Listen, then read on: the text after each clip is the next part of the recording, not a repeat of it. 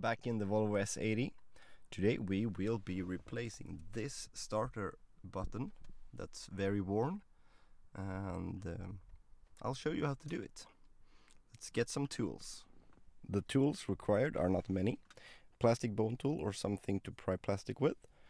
I think it's an 8 millimeter we will need and a T25 Torx. So let's get started.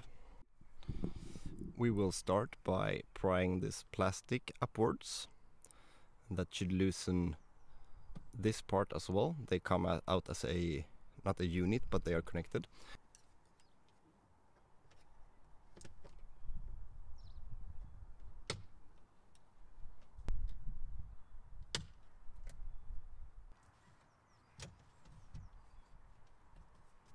You can see here is the clip that's holding it. It's the same on the other side.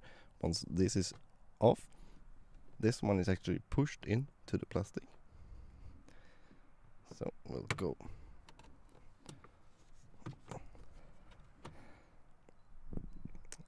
That's how the fasteners look. It's the same on the other side.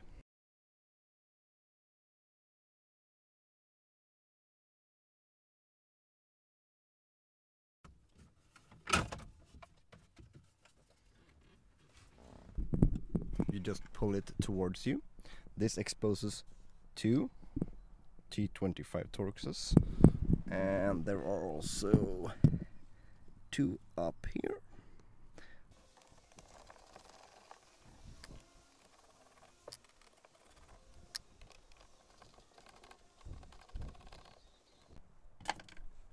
Once um, when the screws are loose, you should be able to reach in top here. The whole instrument cluster should be able to lean out towards you. Okay, there we go. And by experience, I usually leave the instrument clusters connected to the car if it's possible. You can remove the battery or whatever, but just to keep it simple, I will leave it connected. Just putting it like that. So let's see if we can. The starter button is over here. There is an air duct. There's an air duct going here. It can be removed um, with the T T25 Torx up here. You can see the the bottom of the screws. So there's a screw head here and one over here. This one is loosening this air pipe that's going to this air duct. So I'm going to loosen the screw and then show you how to remove it. Okay, that screw is now removed. So this, let's see if we can get some focus in here. This air duct is now loose. Okay, to loosen the air duct, I just twist it forward. And that loosens that air duct.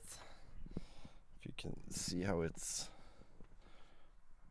mounted like this, I just twist it like that and it pops out of the pipe going into the center center vent here. I pop out the connector on the back of the button assembly. That's just a clip on it. It's an uh, 8 millimeter socket. And you can feel on the back of the button assembly there are three um, screws that you need to take out. Let's do that.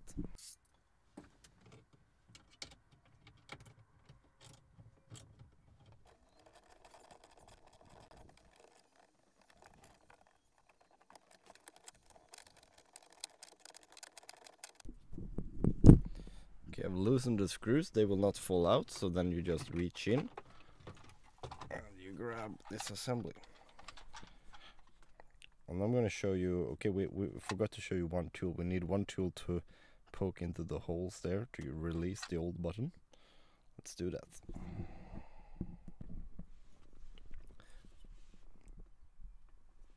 The button is held in with two plastic notches in the outer housing that goes into these holes. So you poke in from the back and you, you try to push the outer housing a bit outward. And that will release one side and then you go for the other one. I'll show you. Let's see if we can go from this side instead.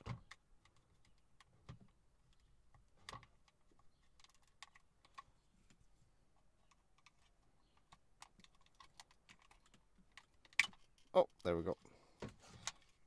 Ah. Here you can see the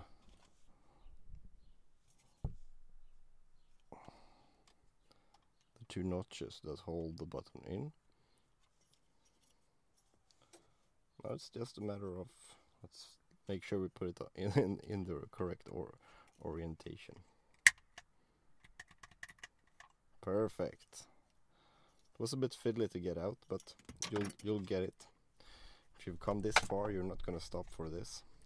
You might crack the housing just a little bit. I'm not sure that's a big deal, but let's put everything back together. And it's uh, basically the reversal of rem removal. Let's put in the button.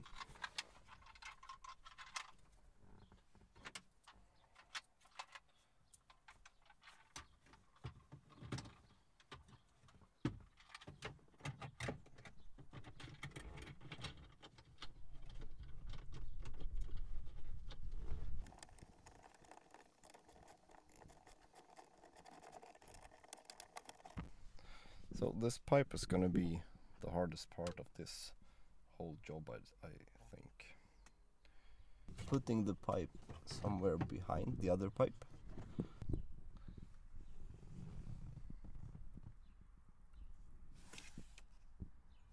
So the pipe should go in that hole somehow. I ended up loosening the other screw, uh, which I should have done from the get-go to because that gives the whole piping more flexibility so I now got it in. It's a little bit hard to feel when it's engaged but it, it, it's in there. So now I'm gonna reinstall the screws put some double-sided sticky tape here for the sound deadening and put everything back together. Don't forget the cable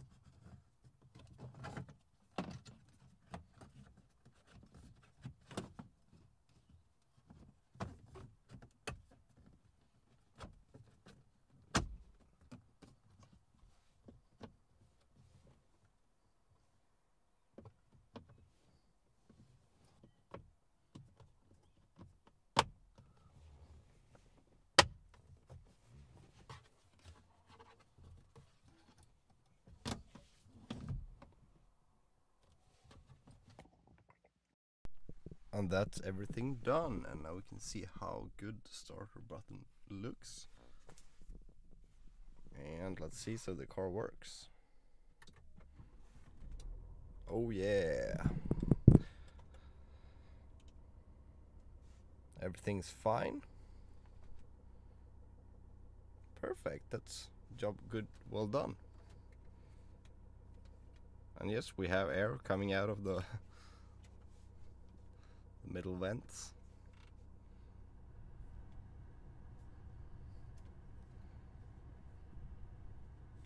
And if we switch down to the feet, these should close up.